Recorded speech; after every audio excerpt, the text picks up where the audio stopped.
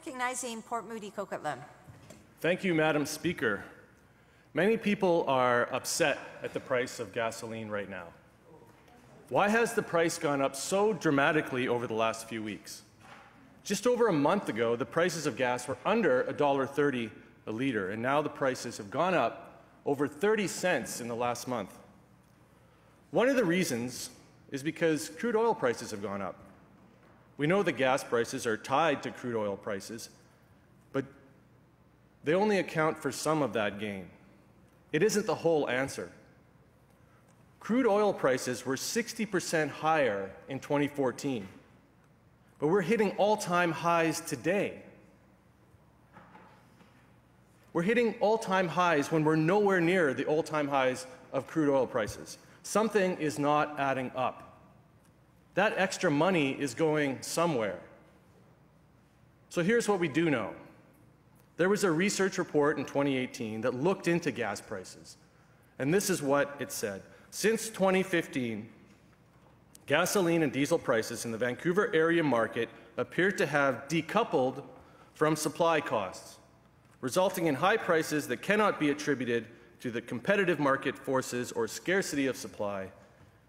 The prices, Madam Speaker, are not set by the market anymore. The data actually shows that since 2014, refinery margins, the revenue from refining, have dramatically risen in BC and are now nearly double the Canadian average.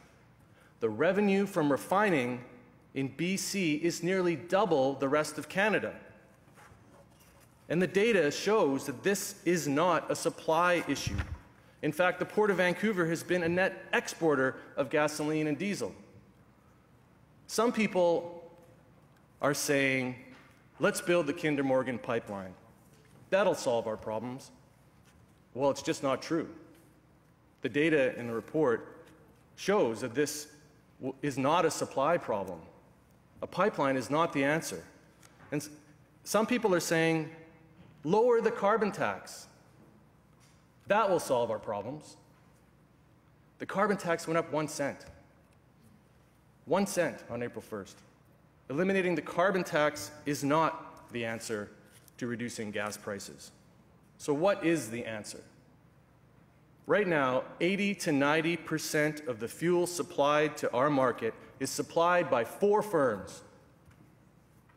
There's a fundamental lack of competition. That's what it says in the report. Adding more supply will not reduce gas prices because of this lack of competition. The only solution is to reduce demand. And we can do this. We can do this. We can reduce demand by creating a market for alternative fuels to create more competition. We can reduce demand by expanding public transit. We can reduce demand by mandating minimum sales of electric vehicles. We can reduce demand by providing credits to purchase those vehicles. These are the things our government is doing with Clean BC.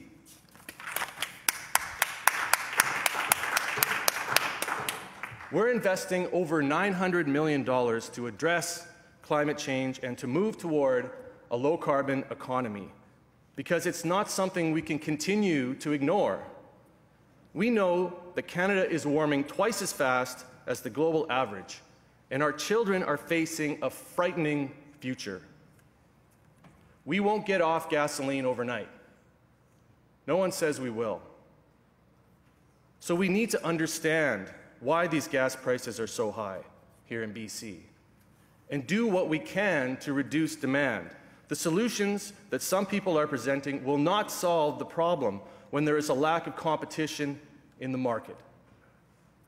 That's simple economics, something the BC Liberals don't apparently understand. The answer is to reduce demand. And one of the ways we are doing this is by moving toward a lower carbon economy. Thank you, Madam Speaker.